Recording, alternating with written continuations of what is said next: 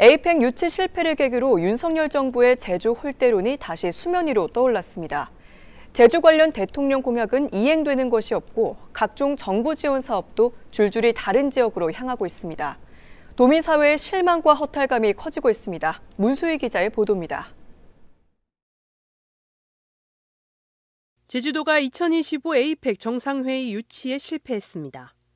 민선 8기 제주도정의 역점 과제로 사활을 걸었지만 2004년에 이어 두 번째 고배를 마셨습니다.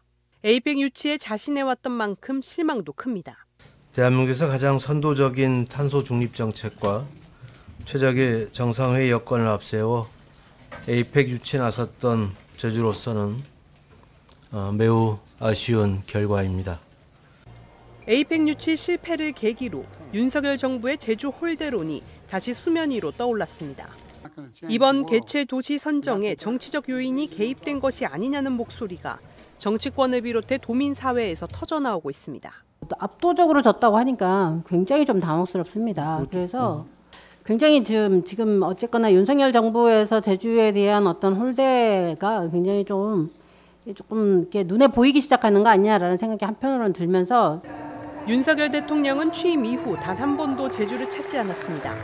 관광청 신설 등 제조 공약도 이행되는 것은 없습니다. 막대한 정부 예산이 투입되는 각종 지역개발 사업도 다른 지자체로 돌아가는 상황에서 경북을 수소 산업의 허브로 키우겠다는 윤석열 대통령의 약속은 제주도의 허탈감을 더하고 있습니다. 당초 총선 이후 개최 논의가 이어지던 제주 지역 대통령 민생 토론회는 차일피일 뒤로 밀리더니 지금은 기약도 없는 상황입니다. 에이펙 개최 도시 탈락을 계기로 윤석열 정부가 제주를 외면하고 있다는 도민들의 불만이 점차 확산되고 있습니다. KCTV 뉴스 문수입니다.